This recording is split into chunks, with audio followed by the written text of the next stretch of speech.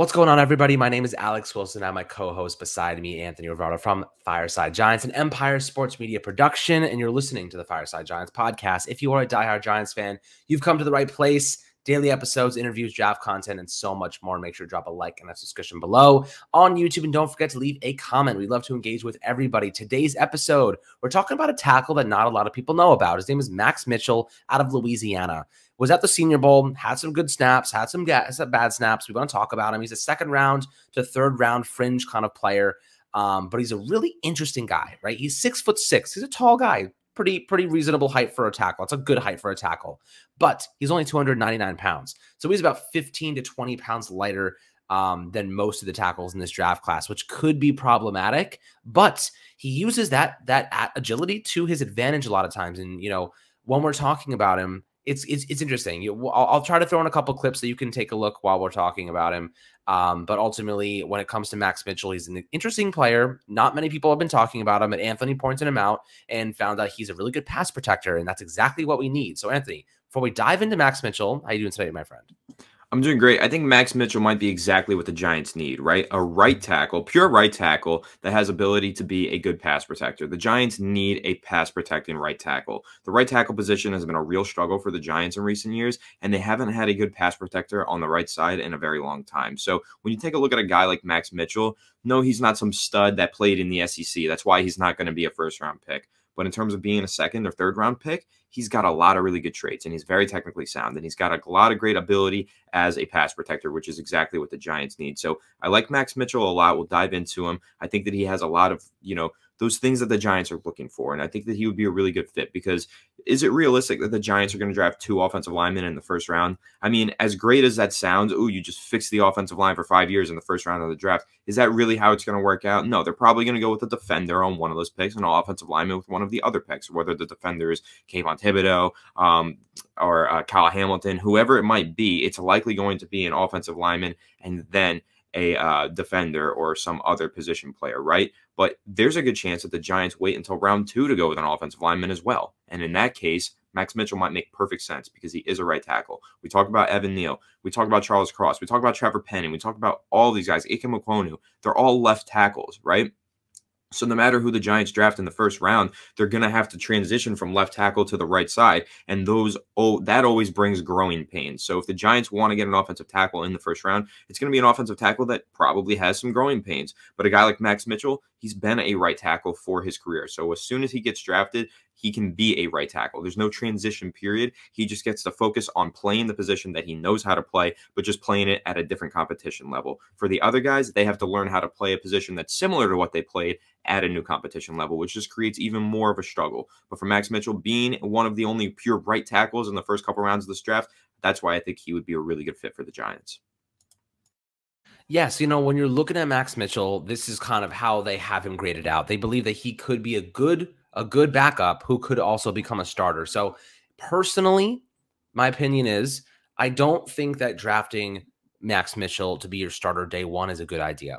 I think that more powerful defenders in the NFL, bigger physical guys, are going to destroy him to early on his career. He needs an NFL weight room. He needs NFL diets. That's what he needs. He needs a year to get his body into shape. However, he is a great option to take for a second year plug and play starter. The reason being, he needs that year to get his body right, but he also has some of the quickest feet I've ever seen from a tackle. He is so good with his feet. You know, he's quick, he staggers them. He's really good at, at, at resetting and finding ways to get blocks on. He's he gets overpowered because of his weight and his and his stature, which um, is his problem now. But he's also a really great leader. Something intangible about him. Um, you know, he's a tremendous leader people love him. The players respect him. And I think that's something that Joe Schoen is looking for, especially on the offense. Guys that, you know, are going to go balls to the wall every single time.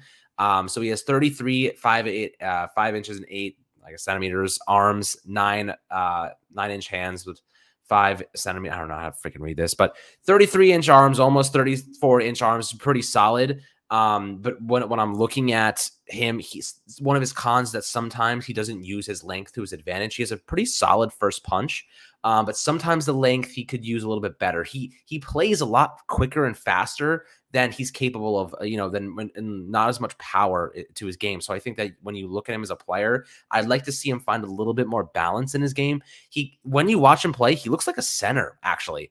When you watch how he moves his feet and how agile he is, he looks like a center.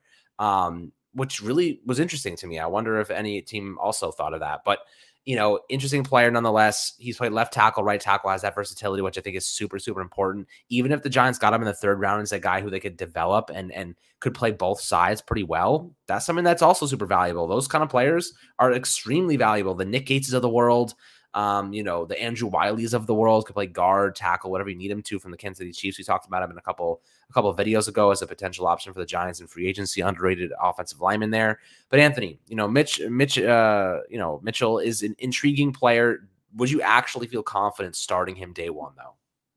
Probably not due to size concerns. You know, he's got the height, he's got the length. I really like his arm length and his height, but he is under 300 pounds, which is a struggle for an NFL offensive tackle, right? An NFL offensive tackle does ideally need to be over 300 pounds. Max Mitchell doesn't tick that box. And so that could be a struggle for him. He might really need to put on some weight first, but we also have the NFL Combine coming up. What if he walks into the Combine and weighs 320 pounds? What if for the past few months he's just been eating really good and he's been hitting the gym really good and he's put on some weight? You know, that's something that will will get determined soon enough with the Combine about to begin. And so he might actually move up draft boards because he fixed his size problem. So who knows? And even if that's not the case, he doesn't show up to the Combine at good size. Who's to say they don't draft him in April, develop him all throughout August, all throughout the off season, and then he eventually, by the time the regular season comes around, has added an extra 20, 20 pounds to his frame and can anchor a whole lot better. And honestly, he's he's pretty good at anchoring. I, I take a look at some of these clips that he had at the Senior Bowl. He's got a good anchor. Like he is a very good, powerful player. Um, and a lot of that has to do with technique, though, and that's the thing. He might be very technically sound. He might have really good feet, everything like that but does he have the physical attributes? And that's kind of where there's a question mark because he's not 300 pounds and he is a little bit lean and undersized. So that that's where I do get a little uncomfortable. Um, talking about him potentially being a starter day one. But at the very least, I do think that he could be a really good project for an offensive uh, line coach, you know, because he's already got a very good baseline of technique and fundamentals. So that makes it really easy for the offensive line coach to get him up to speed with the NFL game.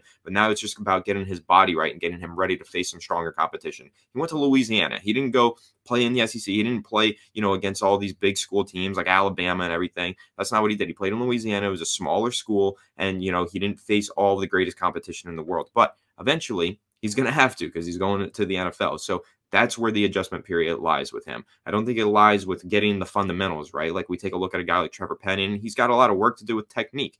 But then I think you take a look at a guy like Max Mitchell, and I don't think he has all that work to do with technique. I think he has work to do with getting ready to play the pro game, and that's about getting his body right. So I think, you know, it could be a few months, it could be a few weeks into the regular season, but eventually he'll be ready to go in year one, I believe, just because he has such great technique. Right. So I think that if he can maintain his feet, that foot agility and speed, and add power to his game, he's going to become a good player. Um, but I think it's going to take time. You know, he needs time to build muscle, needs time to do that. It's going to take a season. Um, I think I think he's a late second round pick. That's where I have him slotted. I don't think the Giants can afford to wait until then to get a tackle. However, there's nothing stopping them from getting two tackles. You know, if the Giants they have two uh, multiple third round picks, they could package a third and a fifth together and move up and get a guy like him. You know, that's totally reasonable to consider. And I would absolutely take a Charles Cross or Ikem and then get it and then go after uh, a guy like Mitchell here. And I think that um, you always need good backups. And Ikem Ekwonu also projects as a really good guard. So maybe one day Mitchell ends up being a phenomenal right tackle. And they're like, you know what? Let's kick Ekwonu into guard and put Mitchell at starting right tackle. And you have a lot of versatility there. You can do a lot of different things. So that's something to keep in mind. Interesting uh, concept and, you know, just to, to consider in the in the future. But I think this is a really interesting prospect. I'll we'll put some film clips throughout the video so you can get an idea of what he's capable of doing. Um, you know, he did lose some reps at the Senior Bowl, but I think that overall he is a prospect that has a ton of potential. Just needs to get his body right. He's a leader. Guys respect him, um, and I think that stands out a lot. But any last or any last thoughts or words on Max Mitchell, Anthony? Yeah, I, will just hit on you know a point that you made in terms of drafting two tackles. Right, this reminds me 2020. The Giants drafted Andrew Thomas with the fourth overall pick, and then two rounds later, third round, pick number 99 overall. They went with Matt Peart. Now, Matt Peart hasn't panned out. He's dealt with a lot of injuries. Obviously, the coaching staff problems were have been a thing. The back injury was a major thing. The COVID thing that like Matt Peart has been screwed over every single way, right? But here's the point. They hit on their first tackle that they took in that draft in the first round. Maybe they missed on their third round tackle, but they still took two opportunities. Had it been the other way around where they missed on the first round guy and hit on the third round guy, everyone would be way more excited about the idea of drafting Matt Mitchell or, or, in the second or third round. So I think this is a great idea for the Giants as well. You want to take as many chances as you can. Uh, Joe Schoen has said that he wants to throw as many darts at the board as possible. So if we're talking about fixing the offensive line, we're talking about drafting players outside of the first round because Daniel Jeremiah has posted tweets too with some st- statistics. I mean, most of the NFL teams around the league that make it to the Super Bowl have offensive linemen not drafted in the first round starting for them. So you've got to start finding some guys in the middle rounds. The Giants do if they want to be a successful team with a good offensive line. And Max Mitchell might be one of those guys in the middle rounds, second or third, that they can find and identify to become a starter at least one day down the line. So really like Max Mitchell, like what he brings to the table as a pass protector, and think he might be a really good fit with the Giants outside of the first round.